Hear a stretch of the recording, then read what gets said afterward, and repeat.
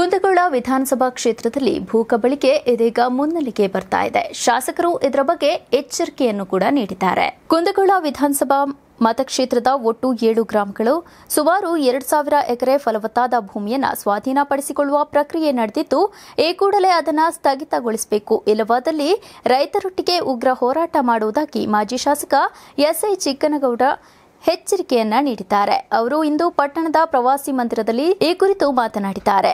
ಅತ್ಯಂತ ಫಲವತ್ತಾದ ಭೂಮಿಯನ್ನ ತಮ್ಮ ಅನುಕೂಲಕ್ಕೆ ಬಳಸಿಕೊಳ್ಳುವ ಹುನ್ನಾರ ನಡೆದಿದೆ. ಇದರಲ್ಲಿ ಕೇಂದ್ರ ಸಚಿವರ ಪ್ರಹ್ಲಾದ್ ಜೋಶಿ ಕೈವಾಡವಿದೆ. ಯಾವುದೇ ಕಾರಣಕ್ಕೂ ಈ ಭೂಮಿ ಬಿಟ್ಟು ಕೊಡುವುದಿಲ್ಲ. ಬಲವಂತಪಡಿಸಿದ್ರೆ ಉಗ್ರ ಹೋರಾಟ ಕೈಗೊಳ್ಳಲಾಗುವುದು.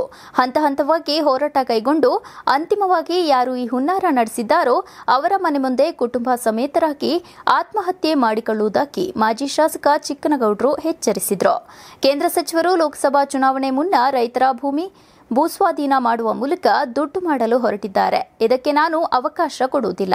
ಈ ಭಾಗದ ರೈತರ ಹಿತಕ್ಕಾಗಿ ನನ್ನ ಪ್ರಾಣ ತ್ಯಾಗ ಮಾಡಲು ಸಿದ್ಧ ಎಂದು ಹೇಳಿದ್ರು. ಈ ಬಗ್ಗೆ ಜಿಲ್ಲಾ ಉಸ್ತುವಾರಿ ಸಚಿವರಿಗೆ, ಜಿಲ್ಲಾಧಿಕಾರಿಗಳಿಗೆ, ತಹಶೀಲ್ದಾರ್, ಮುಖ್ಯಮಂತ್ರಿಗಳಿಗೆ, ಕೈಗಾರಿಕಾ ಸಚಿವರಿಗೆ ಭೂಸ್ವಾಧೀನ ಮಾಡಬಾರದೆಂದು ಮನವಿ ಸಲ್ಲಿಸಲಾಗಿದೆ. ಅದಕ್ಕೆ ಬೇಕಾದ ದಾಖಲಾತಿ ಮಾಧ್ಯಮದವರಿಗೆ ನೀಡಿದ್ರು. ಕೇಂದ್ರ ಸಚಿವರ ಪ್ರಭಾವ ಬಹಳಷ್ಟಿದ್ದು ಅಧಿಕಾರಿಗಳು ಅವರ ಹೇಳಿದಾಗೆ ಕೇಳುತ್ತಿದ್ದಾರೆ. ಕೆಲವು ರೈತರ ಮೇಲೆ ಒತ್ತಡ ತರುತ್ತಿದ್ದಾರೆ. ಬ್ಲ್ಯಾಕ್ ಮೇಲ್ ಸಹ ಮಾಡುತ್ತಿದ್ದಾರೆ. ನಾವು ಕೇಂದ್ರ ಸಚಿವರ ಯಾವುದೇ ಒತ್ತಡಕ್ಕೆ ಆಗಲಿ ಯಾವುದಕ್ಕೂ ಬಗ್ಗುವುದಿಲ್ಲ ಎಂದು ಎಚ್ಚರಿಸಿದ್ರು.